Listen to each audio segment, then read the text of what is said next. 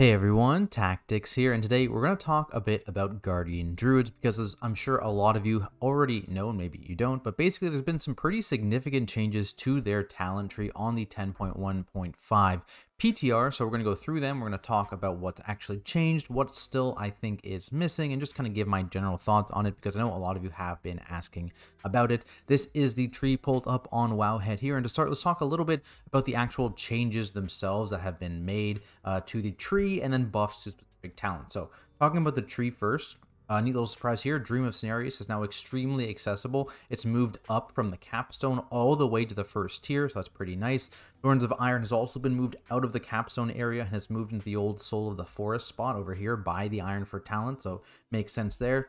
Soul of the Forest has been shifted to the center of the tree where there previously was nothing. Down in the capstone area, uh, the Rend and Tear Untamed Savagery choice node is swapped places with Pulverize, so it's now a lot more accessible, easier to pick up, and feels pretty nice, especially over Pulverize, but we'll talk about Pulverize here later on. And just in general, there's been some shuffling of the talents here, because of course Dream of Cenarius has moved, Thorns of Irons have moved, and then they've done a little bit of rearranging here, like of Scintillating Moonlight and like Galactic Guardian and stuff, Moonless Nights over here now. And there's just some new connection nodes, as you can tell, uh, from Incarn over to Rage of the Sleeper, uh, as well as Raze. In terms of individual talent changes, Innate Resolve here at the top is now increased Frenzied Regen healing based on your missing health instead of just a flat boost to your Frenzied Regen and Regrowth healing. So that's a pretty nice buff, especially when you're using Frenzied Regen at lower health values. Um, Lunar Beam actually saw a pretty massive buff actually. It's now uh, an 8 yard radius up from 5 and it actually gives you 15% mastery when you use it. And of course, it already has those previous buffs uh, to the, the cooldown. It's now a minute cooldown. And so it's actually pretty comparable now uh, to Rage of the Sleeper. They're both pretty pretty solid buttons to have. So that's really nice there. Finally, Lunar Beam got the buff it's so desperately needed. Um, Raze, another massive change here. Uh, Raze no longer replaces Maul. So when you take Raze, you have both options available to you. This is going to be really, really nice in Mythic Plus where you're going to be able to raze uh, in AoE situations and then on boss fights fights, you're not going to be losing damage because you don't have to press raze anymore. You can now continue to press maul. You need another keybind, of course, but I think overall very, very good for the health and the state of the spec in Mythic Plus scenarios. Uh, Moonless Night down in this capstone area also got its damage bonus doubled. It was 10%, now it's 20%, so that's a pretty nice boost there. And then Flashing Claws, again in the capstone area, now increases your total number of Thrash stacks that you can put out by one per point. So uh, with full points in this, you'll be able to have five stacks of Thrash as opposed to three. Has some nice synergy there with Rend and Tear. So overall, there's a lot of good changes to this tree. If we're looking at like what what might be builds uh, coming up in this patch, I think there's two main ones. One that makes use of Thorns of Iron, one that doesn't. Uh, so as a Thorns of Iron example here, you can go down the tree, standard Thorns of Iron stuff, uh, you know, I don't know, maybe Bristling Fur or something. Grab DOC now, which is nice. Going down the traits here for Iron Fur, of course, getting your Thorns of Iron. Moving through this whole middle area here, picking up all this stuff. And I believe you still have a point, so you know that can go up here. Nate, Nate Resolve can go one point. Fury of Nature doesn't really matter. Now, of course, every single build is able to pick up a Rend and Tear plus Ursoc's Fury. This is the one of the biggest benefits here. This double Wombo combo. Now, I will note you are having to give up Scintillating Moonlight to do this. So you are losing some of that flat DR, right? This was a 10% flat DR to Moonfire. You're gaining back a 6% DR, 6% damage, and the Ursoc's Fury Shield. So overall, I think it's a fair trade uh, for what you're getting, uh, but that is something you are losing slash gaining. Uh, now, if we're talking about Mythic Plus here, uh, I think, of course, you'd probably go down here, of get all this stuff there, and this for Rage Gen, so you'd have your Raze, which you'd be able to use in AoE, which synergizes both with Vicious Cycle and Tooth and Claw, and then you can swap back to Maul and single target, you get your Incarn CDR, all that good stuff, you get your Rage of the Sleeper. Uh, now, if you're swapping this to a raid, I think you could justify dropping all three of these points depending on the fight, of course, fight dependent, but like you could do something um, like this, pick up a bunch of extra damage, pick up a Lunar Beam. This could be interesting. You know, maybe you want to keep the Blood Frenzy, maybe you want to keep the Incarn CDR. Either way, I think there's some options here. Uh, and when it comes to rating, at least with this build in Thorns of Iron. Now, if you want to talk about your more uh, regular, like uh, arcane-based build, let's go swap to that. So we're going to go up here. We're going to get Innate Resolve. We're going to swap this over to Gory Fur to path down this way. Survival of the Fittest after the Wildfire, of course getting all your Maul talents. Boom, and then you're moving down here again. Rend and Tear and Ursoc's Fury. Moving down, if you're talking Mythic Plus, we're going to go down to Raze. Get your CDR here. Same deal, you want your Rage Generation stuff from Twin Moonfire and Galactic Guardian. And like if you're talking Raids, again, you can drop this. You can do basically the same thing as the other build. Drop this. Uh, maybe you don't need the CDR. You can pick up Lunar Beam, that kind of thing. Uh, lots of interesting power gains here because now, as an example, in this build, uh, you gain Dream of Cenarius. So you have uh, a ton of off healing now with Dream of Cenarius after the wildfire, uh, self healing as well, right? All these can both be used on yourself. Plus, you have this innate resolve boost to your personal frenzied regen now. I think it's a pretty, uh, pretty beneficial compared to what you're uh, what you're using now. Again, you're gaining Ursoc's Fury, you're gaining Rend and Tear, you are losing Scintillating Moonlight. Flashing Claws is an interesting choice. I think personally, the two point investment is a bit is a bit pricey for sure, right? Like if you're trying to get this in a Mythic Plus scenario, right? Like this is your Mythic Plus build. What do you what is worth dropping to get Flashing Claws? You know what I mean? Like in this, like Galactic Guardian Twin Moonfire is a ton of rage generation and as well as some damage. Rage of the Sleeper, maybe you could justify dropping that. Maybe in a low target count dungeon, you could justify dropping Raze. But uh, I don't know. It's it's a tough sell as a two point node in the capstone area. And that's going to kind of bring me to some changes I'd still like to see. So first, as always, you guys know Berserk. I, I need this to not be three points. I desperately need this to be a single point between these three. I'm perfectly fine with these two points down here. I think these three are just, they feel so bad. Berserk is such a terrible cooldown on its own, and I just don't think this this justifies being a point. None of these individually justifies being a point.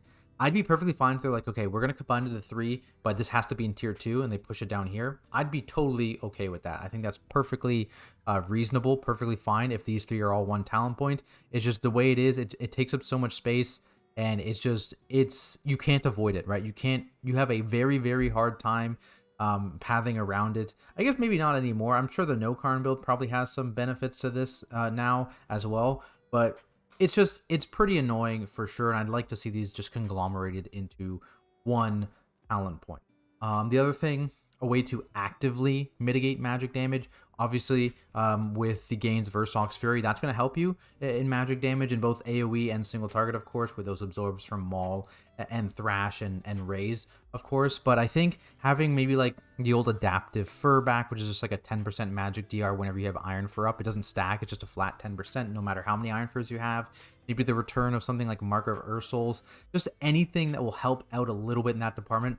I think these changes alone do actually help a little bit, right? You have that more self-healing, you have that absorb shield buffer potentially in certain situations, but there are going to be situations where those either that absorb gets eaten up or it's like a one-shotty uh, high magic mechanic like Dark Claw, but I mean that doesn't really seem to exist so far in this season, but that's the kind of thing I'm talking about which Guardian could certainly use some help against. Um, two point nodes. Let's talk about that. I mentioned it earlier. I think a reduction in two point nodes is super necessary here. Uh, having four two point nodes gating your tier 2 area and then these two two point nodes here in the capstone area which just feel extremely hard to justify putting those two points into because it's in the capstone area it just kind of feels bad i'm not a fan of having really any two point nodes in the capstone area like i said i think it just feels bad those two point nodes have to be exceptionally powerful every single point has to be exceptionally powerful in order for it to actually feel worthwhile and even then it doesn't really feel good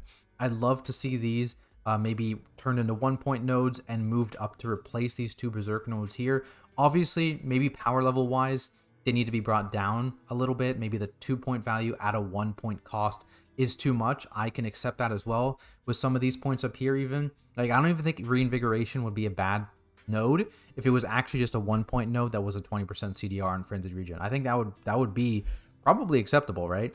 Uh, so stuff like that, just a reduction in these four two point nodes and, and these two here, because the way it stands, even with the buffs of Flashing Claws, I find it hard to justify ever taking it. And similarly, Scintillating Moonlight, with the additions of Rend and Tear and Ursoc's Fury being more accessible, like if these are your choices, you get 10% DR, or you get 6% DR, 6% damage, and a 60% shield from Thrash, Raze, and Maul, like that's a no-brainer, right? You're going to take these two every single time. This just isn't powerful enough to justify you actually putting points into it.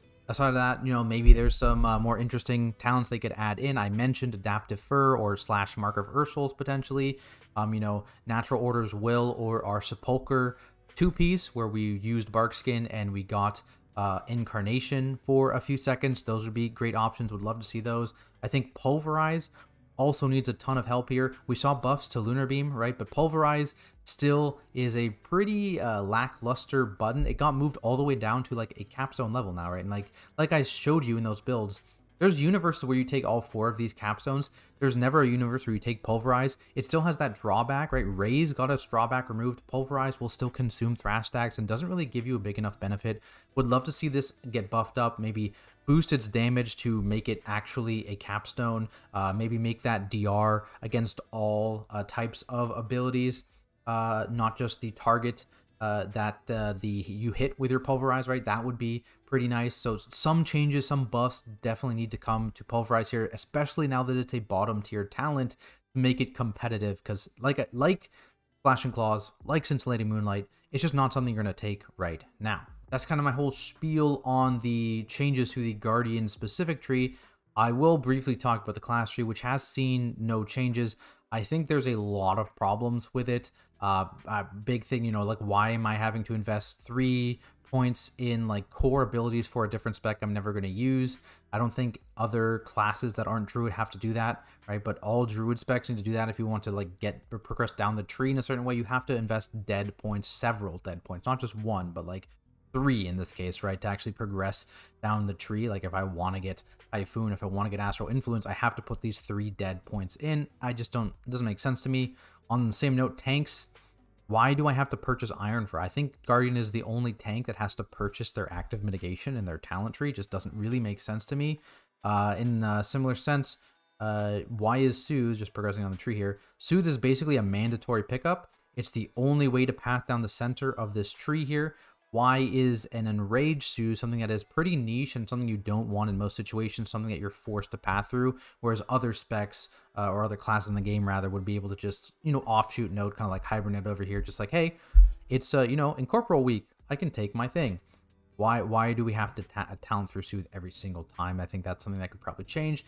Capstones across the board here for Druid specs are pretty underwhelming. Nature's Vigil did get nerfed uh, in this patch as well, so it's 15 seconds down from 30. So across the board here, very uninspiring capstones for Druids in general, but you know, focusing on Guardian Druid here, I would love to see maybe Convoke get the divine toll treatment from paladins and you know you move convoke maybe move one minute convoke buff uh, over to the general talent tree because it's available to all druids. I don't know why it's in every druid's tree. Divine Toll got the exact same treatment. Would love to see that for Convoke. That maybe not be a good thing for Guardian Druids because they don't really like Convoke. It's not really great because Cat Weaving is dead.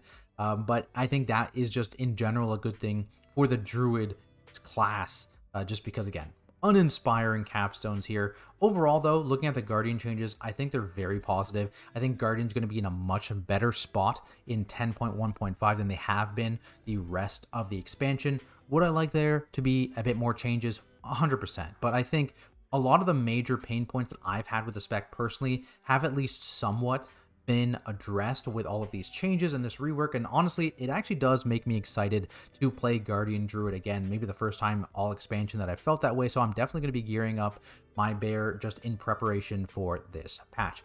I'd love to hear your thoughts on the talent rework though. What do you like about it? What would you still like to see? Let me know down in the comments below. As always gotta shout out my patreon supporters. Thank you. I appreciate every single one of you. Remember, if you enjoyed this video, be sure to leave a like and subscribe to the channel for more content like it, and I'll see you all in the next one.